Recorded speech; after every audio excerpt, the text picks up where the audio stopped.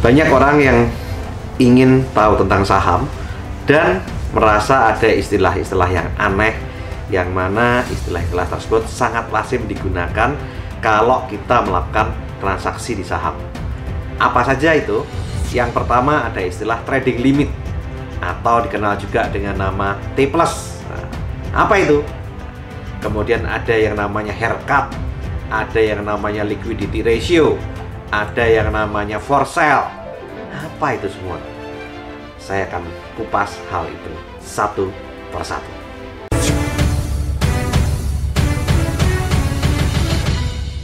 Apa yang dimaksud dengan trading limit? Fasilitas trading limit atau dikenal juga dengan fasilitas T+, itu adalah merupakan fasilitas leverage dengan batas maksimal harian yang diberikan oleh sekuritas kepada trader atau nasabahnya untuk membeli sejumlah saham yang nilainya lebih besar dari modal yang dimiliki trader di rekening dana nasabah atau RDN atau nilai jaminan saham yang dimiliki trader di rekening efek investornya. Yang mana dana atau utang atau leverage itu harus dilunasi pada T plus 2 apa maksudnya? maksudnya harus dilunasi dua hari setelah pembelian. Trading limit ini berubah-ubah setiap waktu.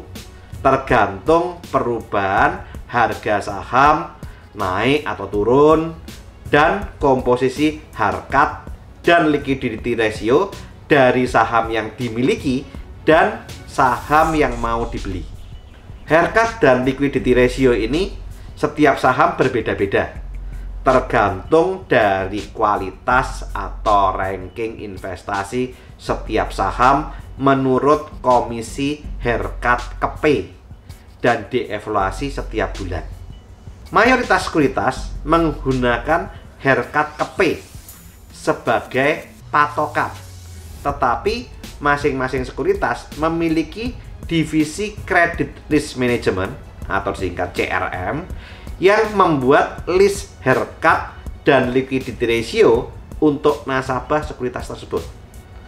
Hal ini membuat beda sekuritas, beda juga haircutnya dan beda juga liquidity ratio-nya. Apa maksudnya haircut? Haircut adalah nilai yang mana dipotong dari nilai aslinya. Jadi misalkan harga sebuah saham 9000, haircutnya 5%, maka dinilai uh, jaminan itu nilainya adalah 9000 kali 5 kali 95%. Itu jadi liquidity ratio. Nah, yang dipotong itu adalah 5%, itu namanya haircut.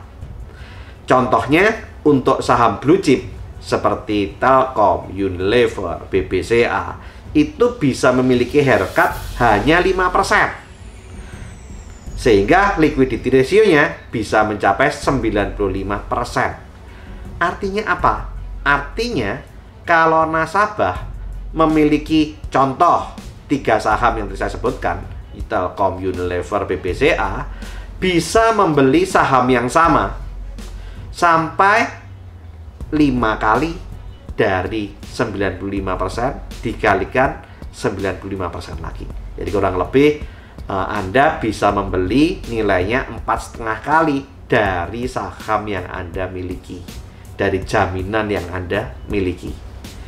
Nah, jika saham jaminan misal ketiga saham di atas tetapi membelinya sebuah saham yang haircutnya mencapai 40% atau liquidity ratio-nya dianggap 60%, maka dia hanya bisa membeli saham sejumlah batasan maksimalnya 5 kali 95% dari jaminannya dan dikalikan 60% dari uh, saham yang mau dibeli sehingga dia bisa membeli kurang lebih sekitar 2,8 kali dari nilai jaminan. Sehingga kalau haircut saham yang mau dibeli 100% ya otomatis 5 kali 95% dikalikan liquidity ratio-nya 0, ya trading limitnya tetap 0.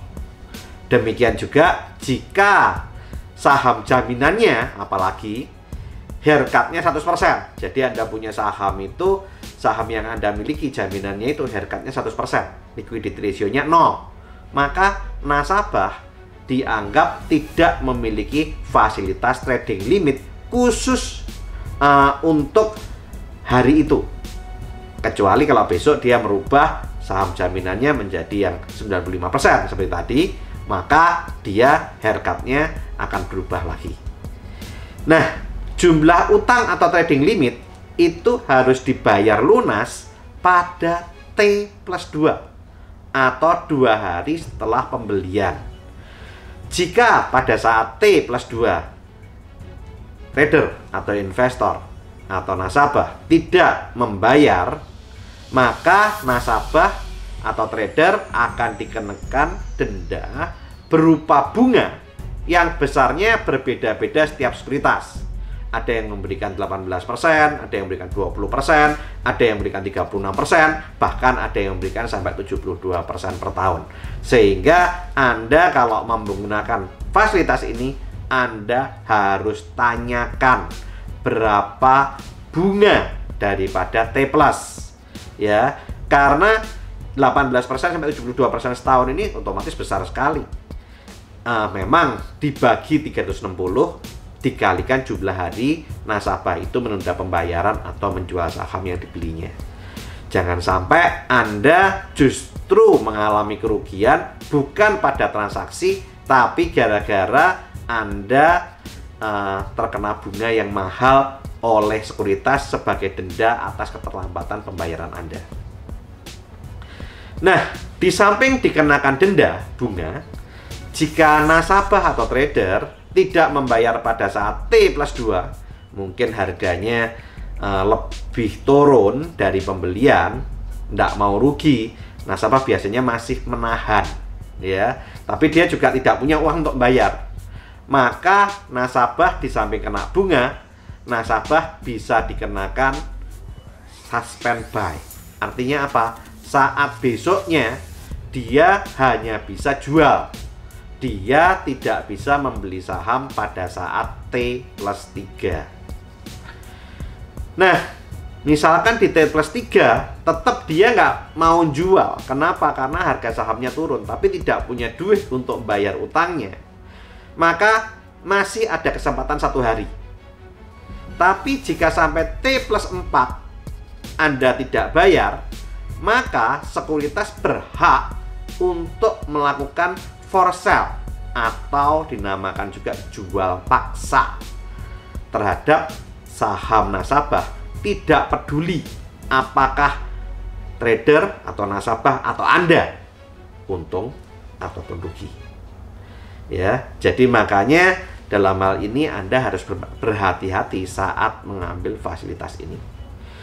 Nilai maksimal fasilitas trading limit yang bisa diberikan oleh setiap sekuritas anggota clearing itu berbeda-beda Se uh, beda sekuritas beda batasan maksimalnya ada beberapa uh, sekuritas yang uh, modalnya cekak atau MKBD-nya kecil, biasanya tidak berani memberikan fasilitas T+. Kenapa? Karena uh, dalam hal ini besarnya utang atau leverage yang diberikan itu dibatasi oleh besarnya jaminan MKBD daripada sekuritas. Apa itu MKBD? MKBD adalah modal kerja bersih disesuaikan. Ya. Nah, masing-masing sekuritas anggota clearing itu beda-beda. Semakin besar MKBD sebuah sekuritas, semakin besar pula fasilitas trading limit yang bisa diberikan kepada nasabahnya.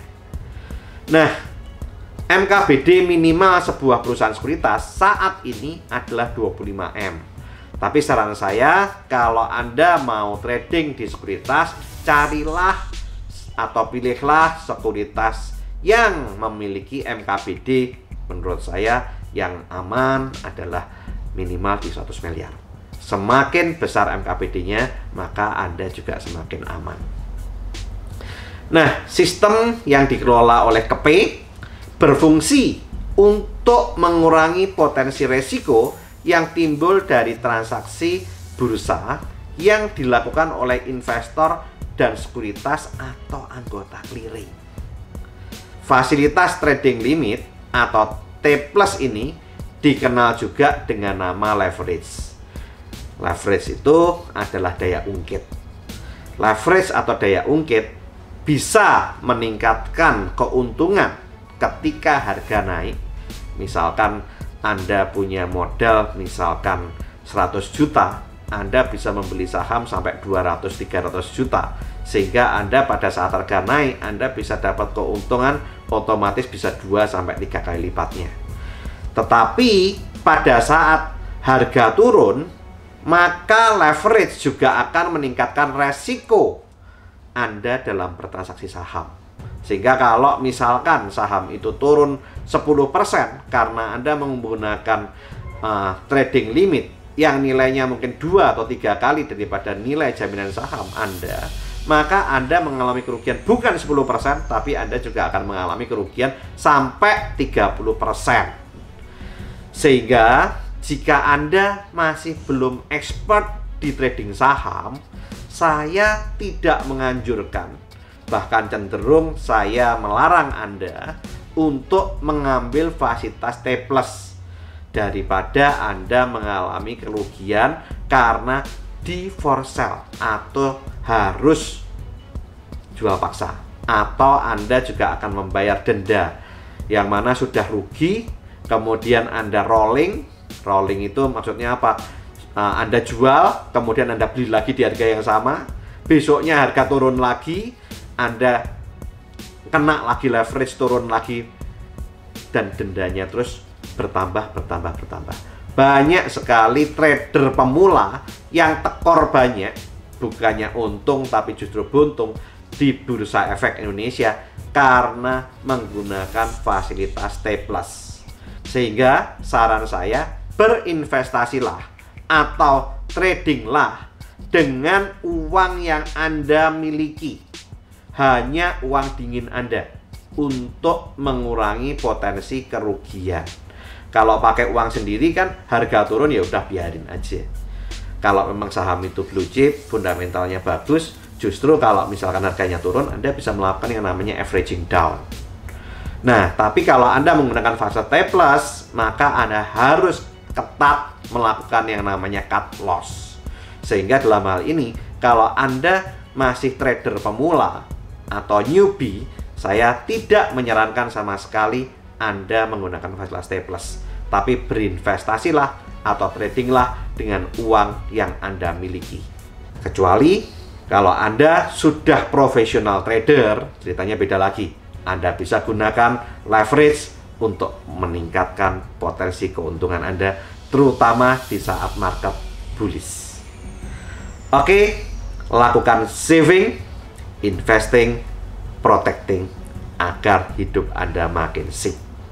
Saya Tony Hermawan Adikaryo, sampai jumpa di puncak kemakmuran.